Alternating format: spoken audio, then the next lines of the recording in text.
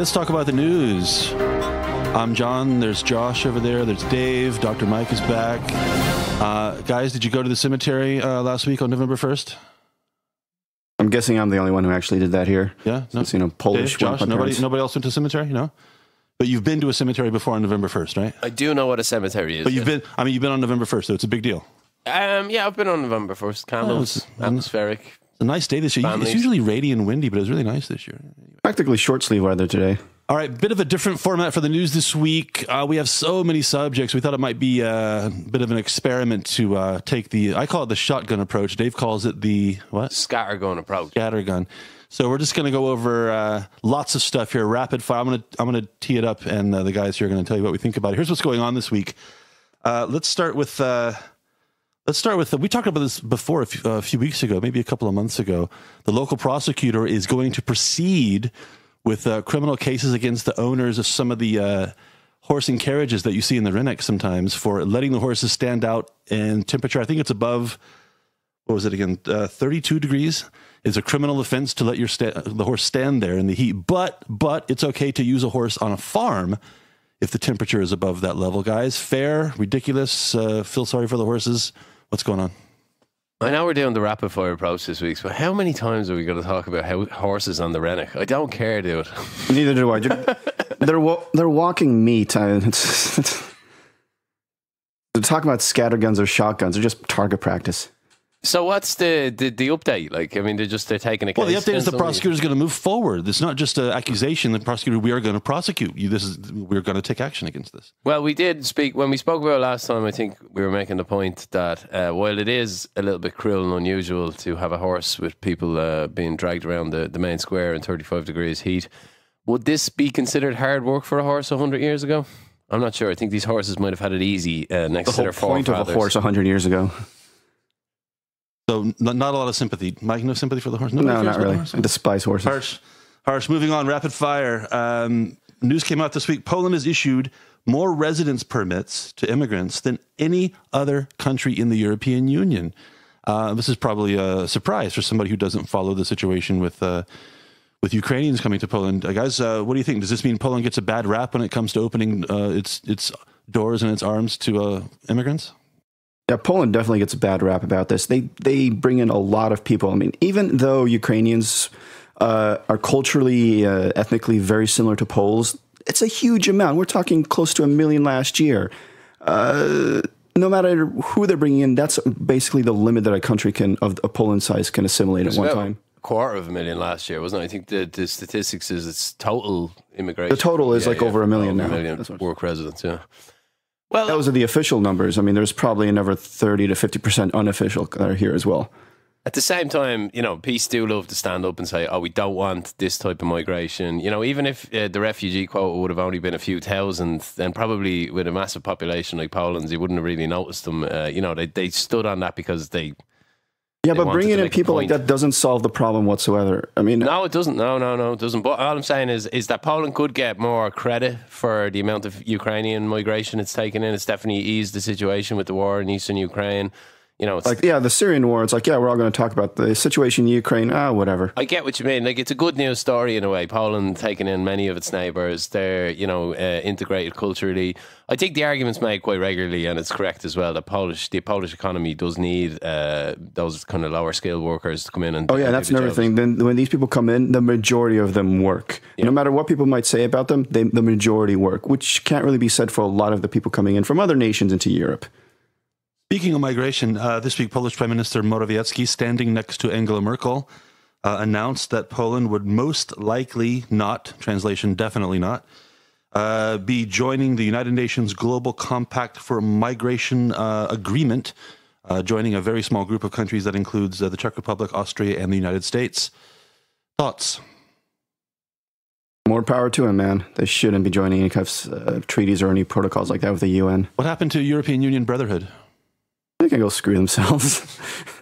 Well, look, there's no doubt it's been a huge schism in Europe, uh, the migration crisis. You know, Angela Merkel, it's it's perceived it on her own bat to say this is how we're going to deal with it. A lot of people didn't like that. It was seen as a kind of unilateral move by one of the the big economies. And uh, in Germany, it's been very controversial as well. You know, that's why she's retiring. Uh, you know, AFD have after doing quite well in the last election. You know, it's a miscalculation from Merkel. The assumption that every other European state would want to take in its fair share, as it's always uh, called.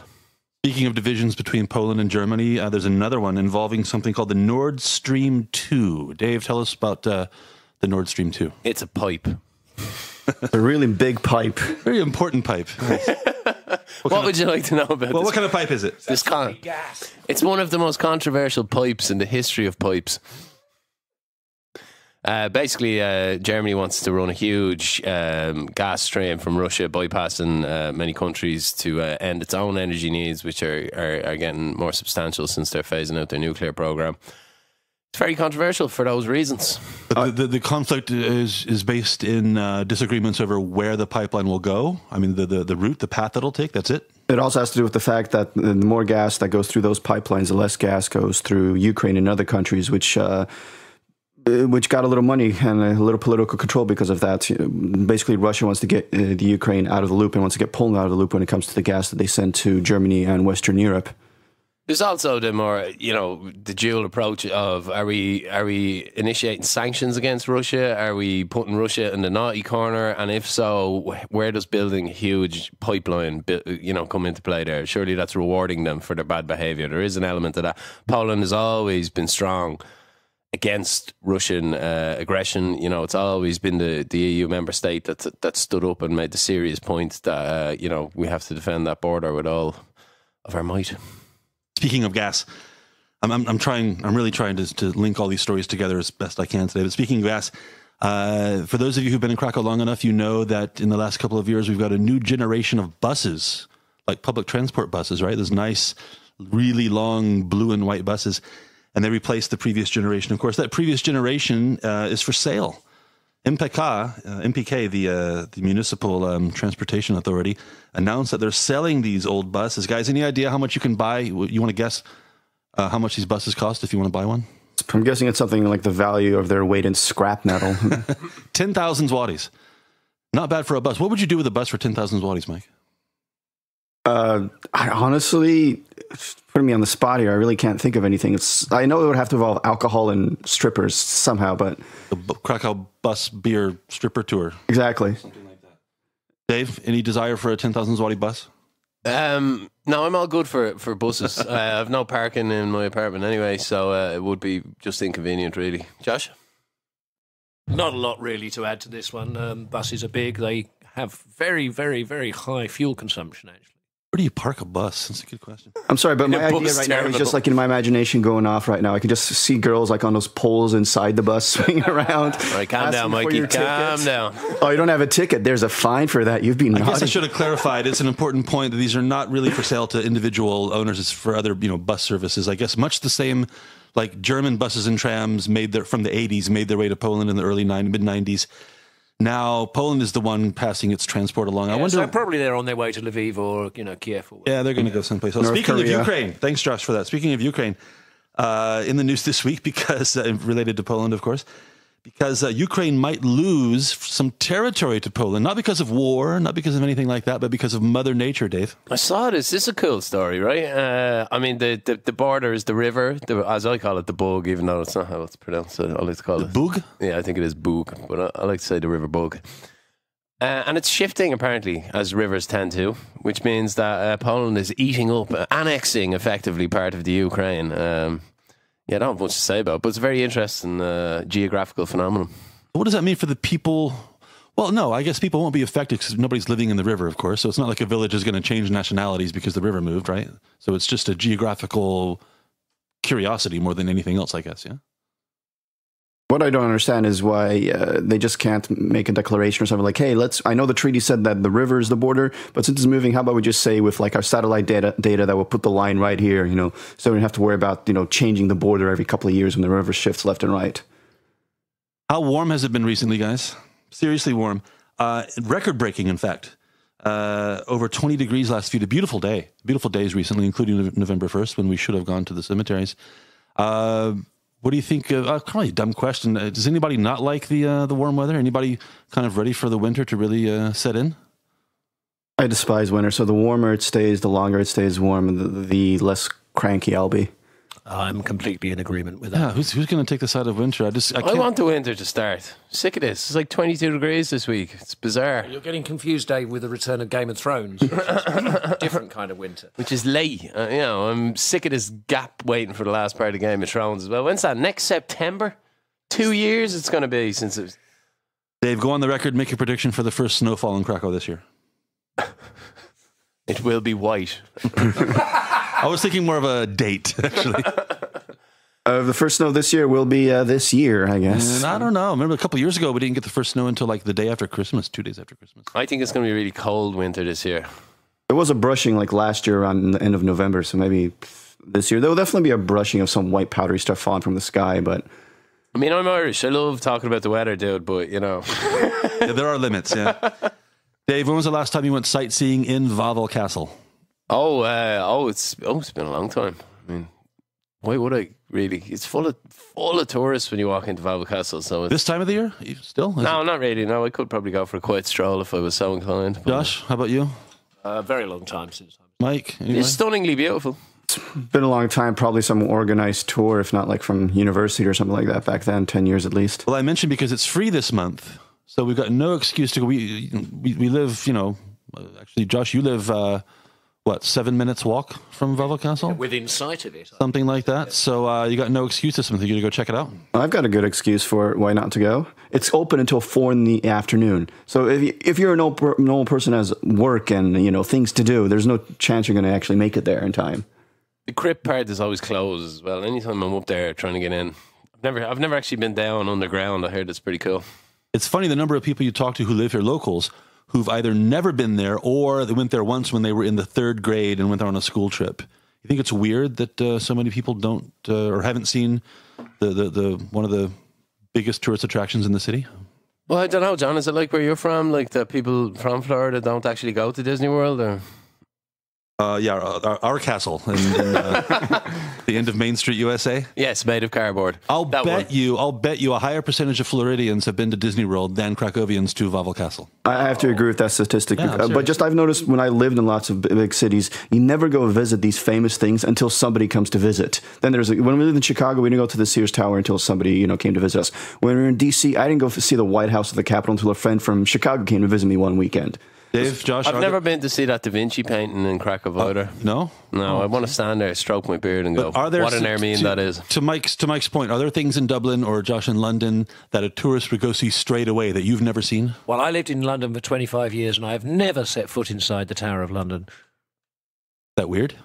No, I think that's completely normal.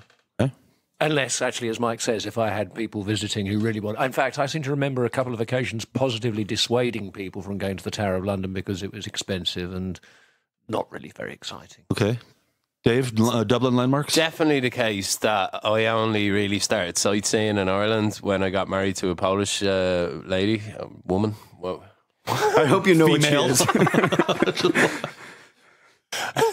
lady sounded weird. I don't know why. Weird.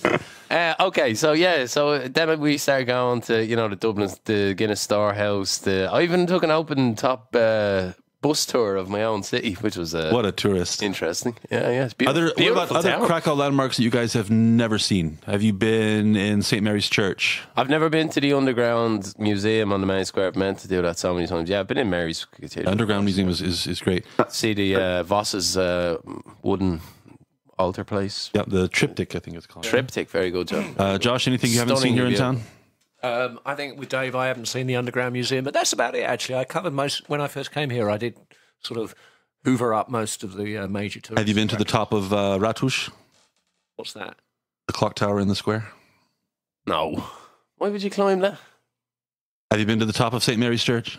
No, but I've been in. Have you the been? Have you been to the? Have you been inside the wall, the Barbican wall?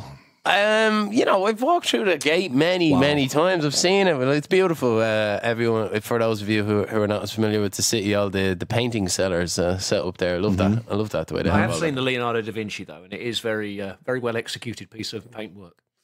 Uh, salt. How about Well the salt done, mines? Have you been to Leonardo. the salt mines, Dave? Thumbs up from Josh there. Uh, I've been a couple of times. Dave, salt mines, Josh. Yeah, I've been, I proposed actually in the salt mines. You there you go. proposed in the salt romantic. mines to this Polish lady, huh?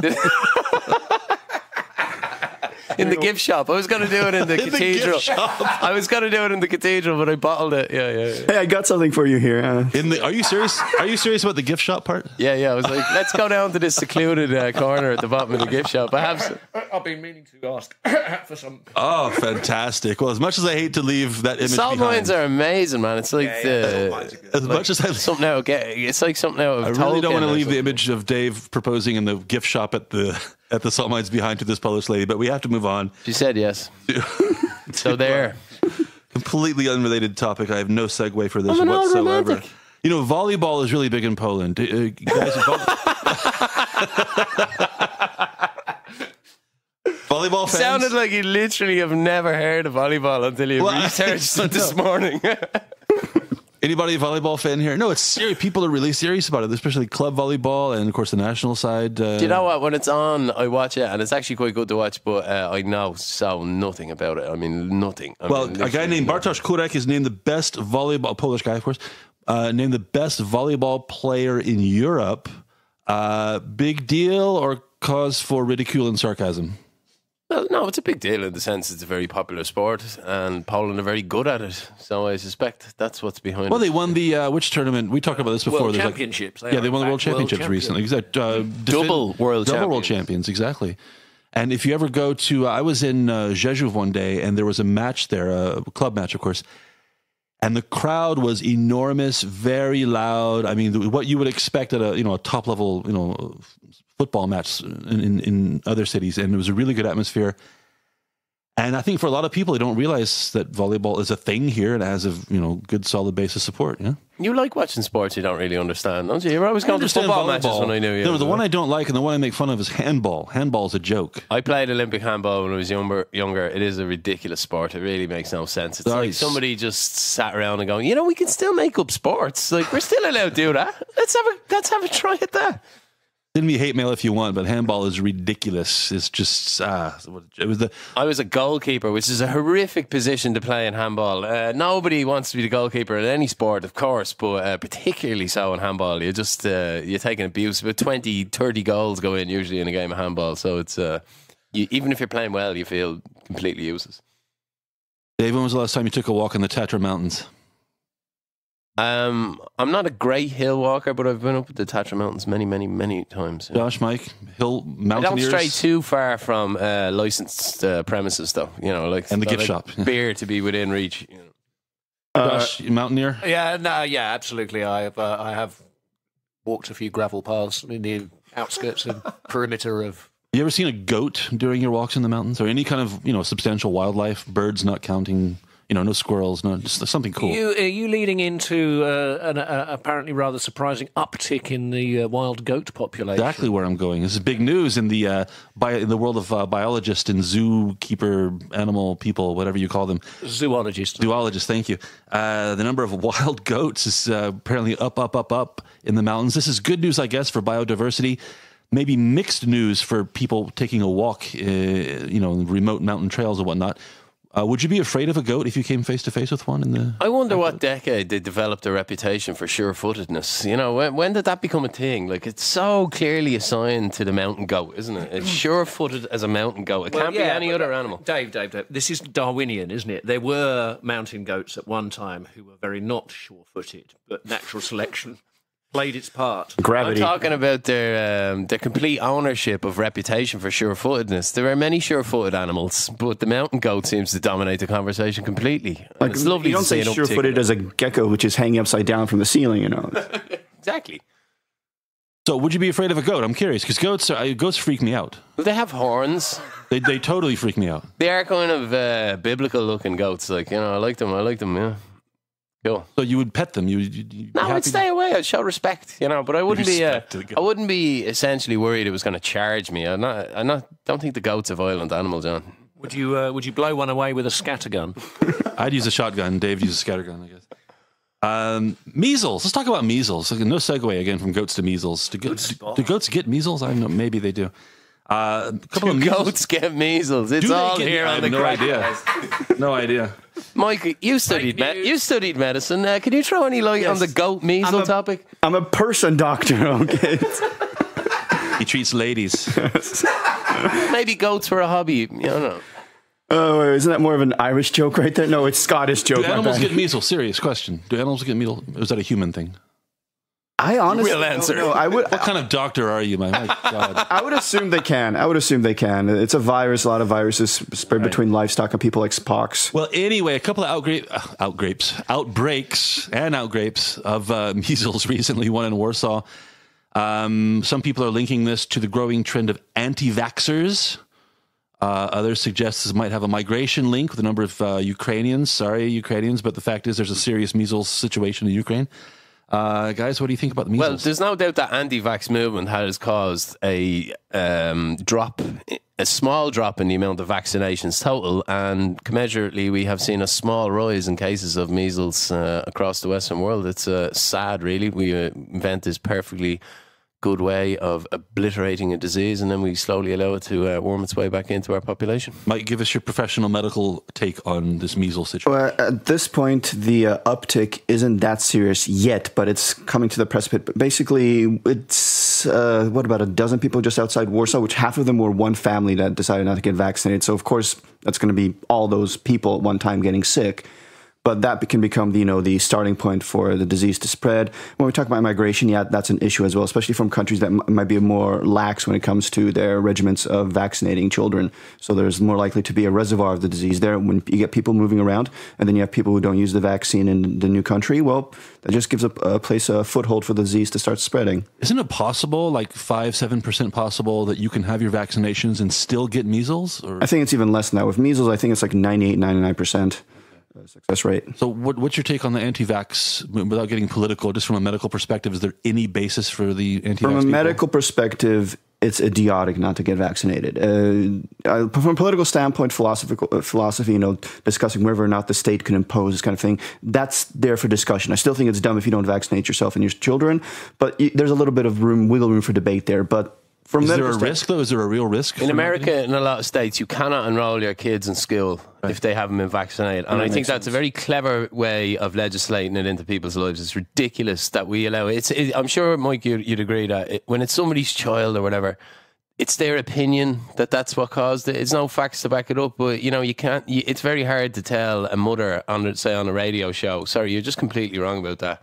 You know, and there's no evidence to support it. People indulge, you know, the anti-vax movement because it's mostly people with horrible stories, you know, about how their their Well, these child's, stories do, you know, some once in a while there are bad uh, side effects, but this happens on this, you know, on a scale of one in 100,000, one in 200,000. If you weren't vaccinating, then you would have a lot more people getting sick. So, you know, just looking at the stats, you definitely want to pr- uh, vaccinating people. Is there any?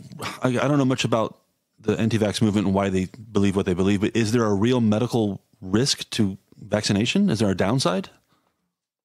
Once in a while, somebody might have an allergic reaction, something might happen, but the, the chances are so small, they're so minor. It's like you're more likely to, you know, cut your hand on a bus and get an infection that way. Uh, So it's more of a libertarian kind of, you know, government can't tell me what to do. It all kind of? goes back to the Anti-vaxxers all started with the fact that like, oh, there's mercury in it. Oh, it causes autism. Oh, you know, so many people get sick. They blow out the negative statistics completely out of proportion It all goes back to this guy, Andrew Wakefield, the British physician who pu- published this ridiculous paper that was pulled apart by every medical journal at the time. And it just won't die. He's just like this determined. Every anti vax documentary always features this guy. He's been, uh, I believe, defrocked by the British Medical Board long ago. Uh, you know, it's just ridiculous. Like, they're the most well studied uh, medicines in the world because the United States has the database from all vaccinations going back to the 90s. So it's it's the only medicine where you can actually track its effects on millions and Hundreds millions and millions millions of people, are getting vaccinated, so we can actually see the statistics, the correlations, and they're minor. Yes, once in a while something happens bad, but you know, you you can uh, open a, up a beer and drink it, and something bad can happen to you just because statistically something could be in there, like a dead rat's ass or something. Yeah. Government released some statistics. We are on, anti anti vax on this. We're anti anti vax. Government released some statistics this week on uh, income tax. Strangely enough, interesting uh, nugget in here. Um, first of all, a bit of background. I told you the about the highest- word nugget, didn't I? The highest we did talk about that. The highest Please stop using that word. the, the interesting nugget I'm referring to here is the fact that the highest income tax in Poland is 32%. 32%. So to be in this bracket, the rich people bracket, you have to make 80, let's call it 85,000 zlotys a year gross. That's an average of about 7,000 a month. So let's call it roughly five, five and a half thousand zlotys net every month puts you in the highest possible income tax bracket, right? Now, this tax bracket has been has not changed for a, a decade, over a decade. So I'll start the, the the question, the conversation by saying, if you were in this tax bracket, would you bother going to work if every zloty you made you had to give 32 groszy to the government? Well, yeah, I'd still go to work, but you know, for those people that are earning just below that amount and knowing that, like, oh, if I get a raise here of a couple hundred zlotys, all of that is going away for taxes. It's like you not, might not be motivated to like work those extra couple of hours a week. Doesn't it seem like uh, a low threshold for being in the rich people bracket? It's one of the lowest in Europe, yeah. And you also have to remember, like the low tax bracket before that is what eighteen percent. So it's a big jump. It's you know, it's like seventy percent or more. You know what always gets me? The meanest part of the tax system is when you get a, an annual bonus, and it's like in it's same in Ireland. They take like nearly fifty percent of it. It's just like, come on, dude. You know what a kick in the nuts. You're taking half my bonus. Well, the the, the interesting again, the nugget here that uh, really stands out to me is the fact that, of course, more and more people are in this higher tax bracket because people are making more and more money, right? Uh, wages are rising and more and more people are making money. And more and more people, according to the government, are rich, even though they're really not. So, do you think this will lead to political pressure to kind of tweak the uh, income tax brackets? Well, Kukiz has been talking about this ever since they were uh, elected, and this is one of their main like topics was discussing about the changes in the tax uh, code. PiS, of course, doesn't want to change it all because uh, their base are people that earn less, uh, rural residents, etc. But people earning more are you know urban, educated. Uh, individuals that PiS you know knows they're not going to win their votes anyway so they don't really want to change the tax system especially since for them it's easy money even though like any economist will tell you that you know you can lower the tax rates a little bit switch them around you probably will collect more money in tax revenue than with the system they have right now last thing we'll uh, oh sorry dave yeah go ahead yeah, well, that's. I mean, there is a point where higher taxes will lead to to, to um, less collection, the famous Laffer curve. But I don't think uh, thirty whatever percent is, is close to getting there. In Ireland, uh, we have the same problem. The tax bands had to be lowered during the recession, so the top one kicks in in Ireland at a measly thirty eight thousand euro per year, which means pretty much everyone, you know, ends up in that in that highest bracket. And then when you add in the social charges, etc., the effective rate is over fifty percent. So. Yeah, taxes are high in Europe, John. So you work Monday, Tuesday, and half of Wednesday for the government, and you get to keep the rest. Yes, but remember when you're buying stuff, you're paying that 20 odd percent VAT tax on all your products as well. So you only get to keep some of your money, and then most of that money that you're spending, you're giving to the government anyway. Yeah, stop taxing our bonuses. That's my main point, my idea for the tax system. Oh, you, you want know? to save some money? That's also taxed, you know. Last thing we'll uh, cover today, and something that's going on as we speak, is the election for mayor, of course between uh, Jacek Majchrowski and Małgorzata Wasserman. Uh, guys, it seems like there's zero drama left at this point, or not? don't we have to observe the election blackout uh, before oh, the runoff? Oh yeah, we're not going live. don't want to get in trouble. oh, wait, we're gonna get fined and you know attacked, whatever. Yeah, but uh, I'm guessing that Majchrowski's gonna win. But but I think it's going to be a very tight margin for him, not what a lot of people are expecting. Just because I'm assuming most of his voters are basically people that ah, he's going to win anyway. I'm not going to go vote. Or a lot of people that support him in the first round don't really care enough to go out again. But while Wasserman's voters, they're all going to go out all the ones before, and maybe a small percentage of people that don't want Majchrowski will get mo- motivated to go vote for her. I think it'll be a tight election, though, uh, a lot tighter than the first round of elections went. Guys, what do you think about the, the format of forcing a runoff, making sure that somebody gets 50%? A good idea to give them a mandate or an unnecessary extra expense? Don't like the term runoff either. We should change that. It should be, you know, championship of the mayor or something. I'd like Michael Buffer introduce it. Let's get ready to, to vote. vote. Yes. Yes, All right, with, that's why Michael Buffer doesn't indulge in get the vote out programs. He's way too cool. Oh, he should. It would be really cool though. Busy sipping. Well, that's going to bring our uh, shotgun, scattergun, whatever we call it, uh, bits of nuggets from the news this week to an end. Thanks for joining, and uh, make sure you give us a like on Facebook. We'll see you next time on the news.